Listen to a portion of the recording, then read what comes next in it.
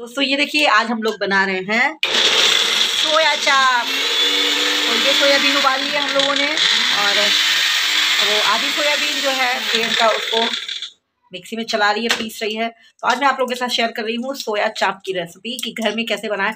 Tasty, मस्त, healthy सोया चाप। मसाला सोया चाप ना? हम्म।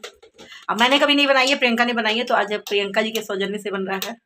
तो हमने सोयाबीन ले ली थी और सोयाबीन को उबाल लिया है, नमक डाल करके और उसके बाद उसका सारा पानी निचोड़ लिया है। जो झाग वाला पानी होता है ना, उसका वो हटा देना चाहिए हमेशा, वो बहुत नुकसान करता है। तो उसको हटा दिया, उसके बाद फिर हमने जो है इसको सारी सोयाबीन पीस ली और उसमें हम डाल देंगे नमक और कुछ नहीं पीसना है।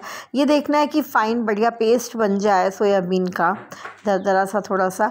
और उसके बाद ये देखिए, अब इसकी हो रही है है मड़ाई यानी इसमें थोड़ा थोड़ा मैदा डाल के और प्रियंका उससे उसको खूब रगड़ रगड़ के खूब अच्छे से उसको आ, मिक्स कर रही है कि उसका एक बढ़िया सा डो बन जाए कि जिसको बेला जा सके। तो मैंने इसको कभी नहीं बनाया है। तो मेरे लिए भी है ये बिल्कुल एक नई रेसिपी और पता है कोई चीज़ ना ऐसे देख के शायद उतनी अच्छे से समझ में ना आए, पर जब आपके सामने वो चीज़ बनती है तो उसकी पूरी रेसिपी आपको बहुत अच्छे से समझ में आ जाती है। तो इसलिए मैं देख ही रही थी और बाकी सारी प्रिपरेशन प्रियंका ही कर रही थी। तो ये देखिए मैदा कितने अच्छे से उसको मिक्स करते हुए उसने, उसको रगड़ रगड़ के उसका डो बनाया है। हाथों से पूरा उसको मल रहा, मलना है खूब अच्छे से। कि उसका एक बढ़िया सा टेक्सचर बन जाए और उसके बाद पूरी फैमिली लग के बना रही है, सोया स्टिक जो है उसको तैयार कर रही है। तो पहले देखिए प्रियंका बना रही थी, फिर मनीष भी आ गया। अभी बच्चे भी इसमें इंक्लूड हो जाते हैं, फिर आगे चल के देखिए, अभी शुभी भी आ जाएँगी। तो सब लोगों ने मतलब सोया चाप स्टिक जो है सब लोगों ने मिल के बनाई है। और थोड़ी थोड़ी देर के लिए इकट्ठा हुए। बाद में तो सब अकेले हम मतलब प्रियंका ने और मैंने मिल मिल के बनाया। पर अभी तो देखिए और सब लोग देख रहे थे ना कि किसने पूरा प्रॉपर अच्छे तरीके से बनाया हुआ है। तो मनीष हम लोग को सिखा रहा था कि इसको ऐसे ही बनाना है। तो मज़ा आता है ना जब फैमिली में सब लोग मिल के कोई काम करते हैं तो उसका मज़ा ही दूसरा होता है। तो ये मनीष जी की स्पेशल सोया चाप स्टिक तैयार हो गई है जिसको रख दिया गया। और उसके बाद ये देखिए दूसरी स्टिक बनने जा रही है। और उसके बाद आ गई शुभी। तो अभी शुभी भी जो है आ, वो भी ट्राई करेंगी। सब लोग अपना हाथ आजमा रहे हैं। बस तेजू रह गया था बनाने के लिए कि वो भी बनाए। बाद में वान्या ने भी बनाया था। तो बहुत बढ़िया लग रहा था। और सच में बहुत अच्छा लगता है ना जब सब लोग मिल कर के कोई काम करते हैं। तो अपने आप हर दिन फेस्टिवल जैसा ही हो जाता है। तो हम लोग खूब इन्जॉय कर रहे थे, मनीष, प्रियंका, मैं, बच्चे। खूब हँसी मज़ाक हो रहा था, खूब मस्ती हो रही थी और बिल्कुल, और पता इसी वजह से ना काम में भी बहुत देर हो रहा था और टाइम वक्त तो किसी को ध्यान ही नहीं था कि कितनी ज़्यादा लेट हो रहा है खाने के लिए। और पापा को तो मतलब एक टाइम होता ना कि उस टाइम पे खाना चाहिए ही होता है। तो फ़िलहाल ये देखिए हम लोगों ने सारे चॉपस्टिक बना लिए थे और उसके बाद एक बड़ी कढ़ाई में पानी रखा उबलने के लिए और उसमें डाल दिया थोड़ा सा रिफ़ाइंड ऑयल और नमक। और उसके साथ ही सारे चॉपस्टिक उसमें डाल दिए थे। भाई, कढ़ाई बड़ी थी तो एक ही बार में सारे आ गए। और पता है, जब मुझे लग रहा था ना, इसमें पानी कम है तो मैंने वो पानी थोड़ा सा और ऐड कर दिया था।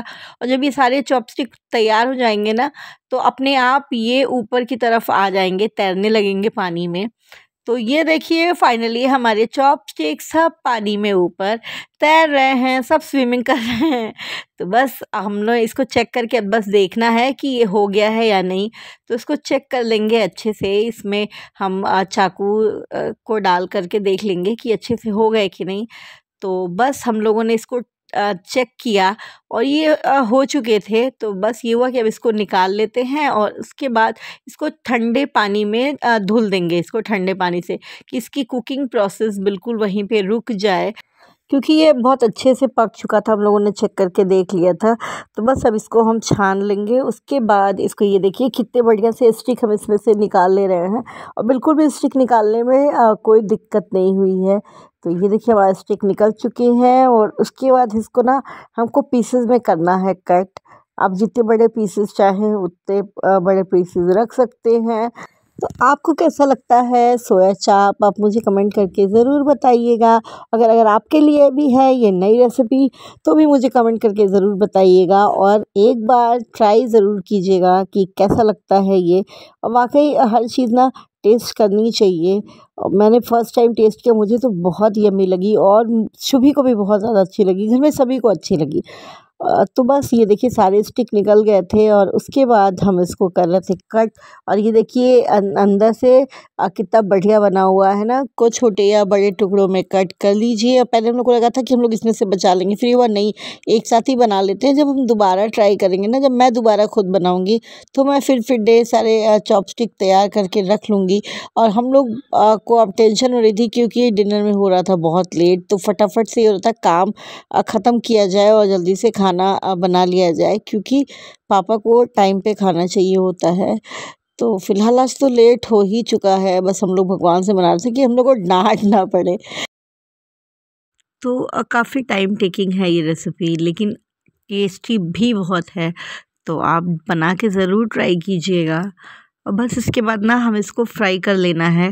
तो एक तरफ़ ये हो रहा था, दूसरी तरफ़ मैं इसके लिए ग्रेवी तैयार कर रही थी, बना रही थी इसके लिए। तो ग्रेवी के लिए प्याज को रफली चॉप करके मैंने फ्राई कर लिया था और उसके बाद उसमें हमने लहसुन, अदरक और हरी मिर्च डाली थी। मिर्च आप अपने स्वाद के अनुसार डाल लीजिए और उसके बाद टमाटर को बॉईल कर लिया था और फिर एक साथ जब सब कुछ ठंडा हो गया तो मिक्सी में पीस लेंगे। तो बहुत बढ़िया ग्रेवी तैयार होती है इसकी। तो सारे चॉपस्टिक प्रियंका ने फ्राई कर लिए। उसके बाद उसको मैगनेट करने के लिए ली थोड़ी सी दही। दही में डाला लाल मिर्च पाउडर नमक और थोड़ा सा काली मिर्च पाउडर डाल दिया था और साथ में डाला गरम मसाला। और उसके बाद ये जितने फ्राई पीसेस थे ना, इसको निकाल निकाल करके हमने उस दही में ऐड कर लिया था। और उसके बाद खूब अच्छे से मिक्स करना है इसको कि खूब मतलब सब कुछ बहुत अच्छे से उसमें लग जाए, पूरा दही में कोटेड हो जाए ये सारे चॉप्स तो जितने अच्छे से आप उसको वो कीजिए। हमारे पास दही थोड़ी थी ना तो हम लोगों ने कहा कोई नहीं। और थोड़ा सा दही बचा लिया था हमने कि इसकी ग्रेवी में डालने के लिए। तो ये देखिए पहले प्रियंका ने स्पून से किया क्योंकि ये गर्म गर्म था ना।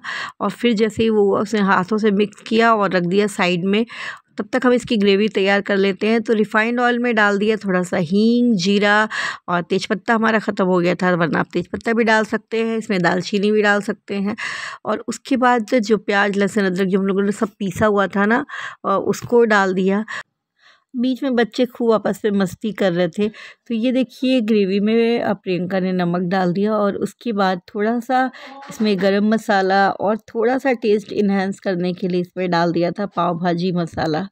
तो सब मिला के बहुत बढ़िया ग्रेवी तैयार हुई थी और सब्ज़ी मसाला जो होता है वो डाल दिया था।